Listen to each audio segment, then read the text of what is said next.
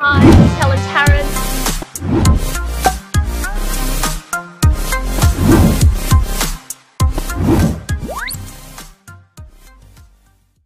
Hi, and welcome to another episode of Commercial Property Roadshow with Helen Tarrant. Today I'm going to talk about how, if you're a residential investor and you want to get into commercial, what are some of the concrete steps and things to consider when you're getting into your first commercial property. So, uh, a lot of people ask this question of me so how do i even get into commercial? How do i know that commercial is the right step for me? What should i be looking for?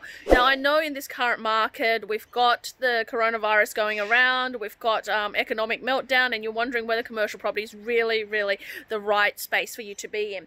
Now if you're coming from a residential point of view you're coming from the mindset you're chasing growth. So you've got a lot of growth happening in this market uh, or has been in the past but it doesn't mean that necessarily in the next few years there is going to be growth but you're thinking, well, you're really cash flow starved. So what do I do? Is commercial the really the right way? And with all these things happening, is it the right way, or should I be looking at um, just holding still and not doing anything? So I'd like to talk to you about really fortune favors the bold. And the reason I talk about this is that in any market, there's always people who've made money through any economic downturn.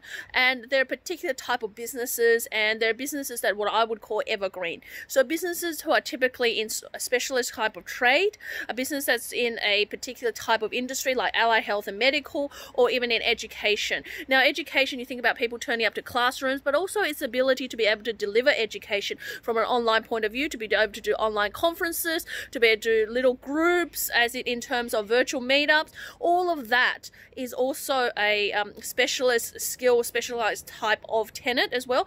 If your tenants are in technology, for example, if they're in parking technology, or they're in AI technology, or they they do a technology for a particular industry, that's not going to be impacted because there's always going to be need for that. Now, is the market going to turn a little bit? Yes, for the next three or six months, potentially you're going to have some tenants that's going to be.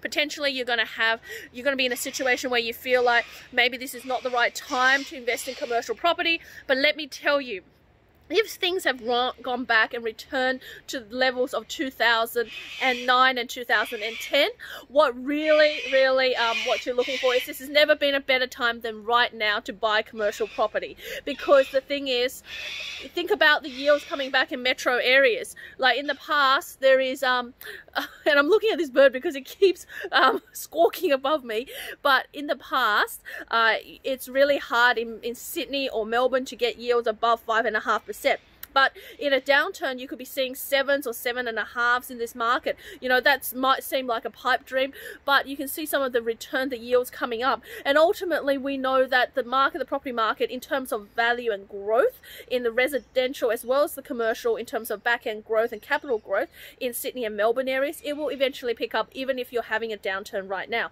So, this is a really, really great time where other people are fearful for you to move forward and be bold, to be bold out there and still invest, to be bold to be looking at the particular type of tenant that you could invest in. You see, the thing is, you may not invest in a restaurant tenant right now, but you might invest in a tenant that has medical technology. You might invest in a tenant that has online training, that has um, that does virtual conferences, that also has maybe uh, capitalized on overseas staff, like offshore and outsourced staff, because ultimately, as we're going in through this, you're going to find a lot more people are going to work remotely and be just as effective. So, uh, companies who are who diversify, uh, I know that there's companies who are in logistics, but you might think, well, right now that's not the great thing. But the thing is, in the future, with people working remotely and documents having to be sent and parcels be sent, that will just pick itself right back up again after the temporary hold at the we're seeing right now. So really, if you're residential thinking about going into commercial, some of the things you need to think about. Firstly, do you need cash flow in your portfolio? If the answer is yes, then commercial is the one and only route right now that can deliver the cash flow and is still consistently to deliver cash flow regardless of whether we're having a downturn or the next GFC or the coronavirus or anything else because there's particular type of tenants that you can be leasing your property to that is going to still be doing stellar business in this market as well. So if you're chasing cash flow and you're residential buyer and you want a commercial, absolutely commercial. If you're looking at the stock market or anything else and you're wanting an alternative way to put your money into, then there's nothing better than commercial property right now because you're about to be picking up some really, really great bargains. So you've got to really position yourself well for that as well. So the next thing is number two, are you um, are you actually in your portfolio too um, top heavy. So when I say top heavy, are you too stocks heavy? Or are you too, have you invested in businesses? Have you invested in um, residential and you don't actually have enough diversification? Ideally, diversification is about having property in all the different states in Australia and maybe in some overseas, as well as the different types of properties. So that could be your warehouse, um, that could be your normal houses, that could be your retail, as well as office space, because they all have their turn in the market where they are going to pick up growth and fantastic yields as well. So you got to look at that as well. So if you are one one asset heavy, single asset heavy, then you really need that diversification in your portfolio as well. So that's the number two. And finally, number three, why you should be thinking of changing from residential to commercial is because right now there's never actually better time to get a loan in commercial than there is uh, compared to residential. Now, some of you are experiencing the headaches of getting a, a residential loan where you have to you know, tell them how much you're spending at the gym, Netflix, whether you're buying an extra cup of coffee, um, are you actually taking your kids out for an extra meal a week, all of that, and it's taking a long, long time. You know, sometimes a loan is dragging out to three or four months where it used to be a two weeks, three weeks process.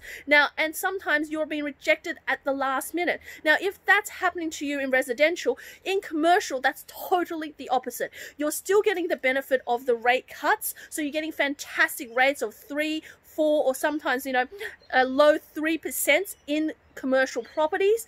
And um, and even if you don't have serviceability you're getting your early fours in in some of the lease doc loans where they're only relying on the tenant um, to be able to be security for the servicing of the loan. With all of these different products in commercial right now it's much much faster for you to get a commercial loan than it is for you to get a residential loan.